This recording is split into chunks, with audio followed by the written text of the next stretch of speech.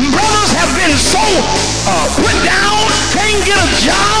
A lot of the sisters making more money than brothers, and it's created problems in families.